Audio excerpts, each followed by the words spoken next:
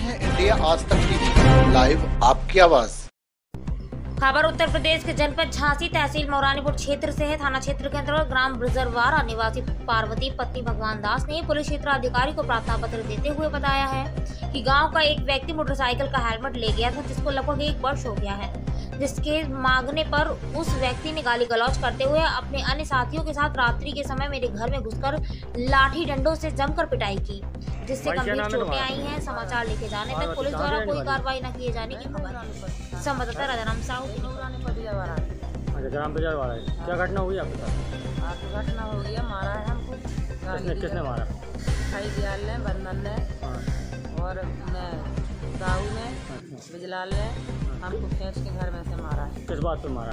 हमने मंगारा हेलमेट अच्छा। इसलिए हमको गाली बुरे बुरे दिया। अच्छा। हमने मांग दिया सबको खींच के घर में से मारा है आपने पुलिस से शिकायत की? है हमने पुलिस से शिकायत लिया कोई मेरी सुनाई नहीं दिया अच्छा कोई कार्रवाई नहीं कोई कार्रवाई कोई जना ने कोई सुनाई नहीं दिया अच्छा आप कहाँ पे आई हो अभी? हम अभी आएँगे ना सीओ साहब? में के पास कचहरी में। क्या कह रहे हैं? वहाँ है नहीं अभी। अच्छा। क्या कह रहे हैं? आप क्या चाहती हो? क्या चाहते कि जब बोल रहे हैं कि कल आना सो कल दस बजे आना नहीं तो आप मतलब क्या का- कार्रवाई चाहती हो क्या चाहती हो? हम तो कार्रवाई चाहते हैं। लोगों की। हाँ। तभी बार बार भी हमसे गाली देते किसी को।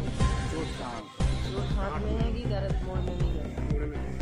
आप ही को मारा जो हमको मारा किसी को नहीं हमको मारा। कोई हमारे घर पे आते ना लड़का मेरा बाहर ही गया।